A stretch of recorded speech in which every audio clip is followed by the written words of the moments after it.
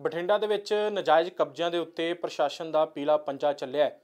High court ਦੀ ਸਖਤੀ ਤੋਂ ਬਾਅਦ ਬਠਿੰਡਾ ਦੇ ਮਾਡਲ ਟਾਊਨ ਦੇ ਵਿੱਚ ਨਜਾਇਜ਼ ਕਬਜ਼ੇ ਹਟਾਏ ਗਏ ਨੇ, ਪਰ ਲੋਕਾਂ ਦਾ ਕਹਿਣਾ ਹੈ ਕਿ ਬਿਨਾਂ ਨੋਟਿਸ ਦਿੱਤੇ ਇਹ ਕਾਰਵਾਈ ਕੀਤੀ ਗਈ ਹੈ।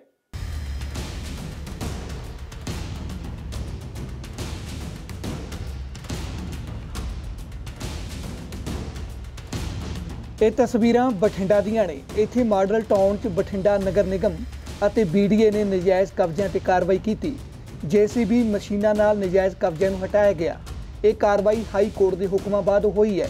ਕੋਰਟ ਨੇ 11 ਮਾਰਚ ਨੂੰ ਡਿਪਟੀ ਕਮਿਸ਼ਨਰ ਅਤੇ ਐਸਐਸਪੀ ਖਿਲਾਫ ਮਾਣਹਾਨੀ ਦੀ ਕਾਰਵਾਈ ਕਰਨ ਬਾਰੇ ਚੇਤਾਵਨੀ ਦਿੱਤੀ ਸੀ। ਅਦਾਲਤ ਦੇ ਸਖਤ ਤੇਵਰਾਂ ਕਾਰਨ ਬਠਿੰਡਾ ਡਿਵੈਲਪਮੈਂਟ ਅਥਾਰਟੀ ਦੇ ਅਧਿਕਾਰੀਆਂ ਨੂੰ ਹੱਥਾਂ ਪੈਰਾਂ ਦੀ ਪੈ ਗਈ। ਅਜਿਹੇ 'ਚ 20 ਮਾਰਚ ਨੂੰ ਹੋਣ ਵਾਲੀ ਸੁਣਵਾਈ ਤੋਂ ਪਹਿਲਾਂ ਬੀਡੀਏ ਨੇ ਨਜਾਇਜ਼ ਕਬਜ਼ਿਆਂ ਵਿਰੁੱਧ ਕਾਰਵਾਈ ਅਮਲ 'ਚ ਲਿਆਂਦੀ।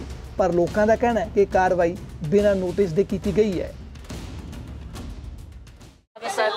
कोई नोटिस नहीं आई नोटिस आई है अपने पास। सिंगल सिंगल डे भी नोटिस नहीं आई है। कोई मैसेज नहीं आया कोई भी इंफॉर्मेशन नहीं आई पुलिस के थ्रू कि हाँ इसको हटाना या नहीं हटाना। ऑन द टाइम लाइट काट दिया हम कैसे हटवाएँ इसको?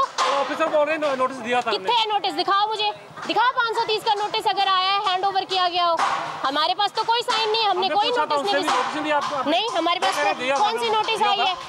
नोटिस नहीं आई ना तो हमने रिसीविंग लिया नोटिस की ਇਹ ਗਲਤ ਹੈ ਬਿਲਕੁਲ ਗਲਤ ਹੈ ਚਲੋ ਕਰਨੀ ਚਾਹੀਦੀ ਸੀ ਬਟ ਇਹਨਾਂ ਨੂੰ ਘੱਟੋ ਘੱਟ 2 ਘੰਟੇ ਪਹਿਲਾਂ ਇਨਫੋਰਮ ਕਰਨਾ ਚਾਹੀਦਾ ਸੀ ਤਾਂ ਕਿ ਹਰ ਕੋਈ ਆਪਦਾ ਅਰੇਂਜਮੈਂਟ ਕਰ ਸਕੇ ਠੀਕ ਹੈ ਹੁਣ ਕੀ ਕਰ ਰਹੇ ਨੇ ਸਭ ਕੁਝ ਵੇਸਟ ਹੀ ਹੋ ਰਿਹਾ ਹੈ ਲੋਹਾ ਸਾਰਾ ਵੇਸਟ ਹੀ ਹੈ ਉਹ ਵੀ ਆਪਣੇ ਕਬਜ਼ੇ 'ਚ ਲੈ ਰਹੇ ਨੇ ਤਾਂ ਦੇਖੋ ਫਿਰ ਹੁਣ ਪਹਿਲਾਂ ਕੋਈ ਨੋਟਿਸ ਦਿੱਤਾ ਬਿਲਕੁਲ ਕੋਈ ਨੋਟਿਸ ਨਹੀਂ ਦਿੱਤਾ ਇੱਕ ਦਿਨ ਦਾ ਟਾਈਮ ਤਾਂ ਘੱਟੋ ਘੱਟ ਦੇਣਾ ਚਾਹੀਦਾ ਹੀ ਸੀ ਇਹਨਾਂ ਨੇ ਕੇਸ 3 ਨੂੰ ਕਿਉਂ ਚੁਣਿਆ ਇਹ ਪਹਿਲਾਂ ਉੱਥੋਂ ਸ਼ੁਰੂ ਕਰਨਾ ਚਾਹੀਦਾ ਇਹ ਇਹਨਾਂ ਨੂੰ ਬਾਕੀ ਪਤਾ ਨਹੀਂ ਸਰਕਾਰ ਦੀ ਕੀ ਨੀਤੀ ਇਹਦੇ ਬਾਰੇ, ਪਰ ਜਿਹੜਾ ਇਹ ਗੰਦ ਪਾ ਰਹੇ ਆ ਇਹਦੇ ਤੋਂ ਬਾਅਦ ਇੰਟਰਲੌਕ ਲਾਉਣ ਸਾਡੀ ਤੇ ਇਹ ਮੰਗ ਆ ਵਾ ਚਾਰ ਦੀਵਾਰੀ, ਇਹ ਮੈਂ ਸਭ ਤੋਂ ਮੇਨ ਤਾਂ ਚਾਰ ਦੀਵਾਰੀ ਹੈ ਜੀ ਫੇਸ 3 ਦੀ।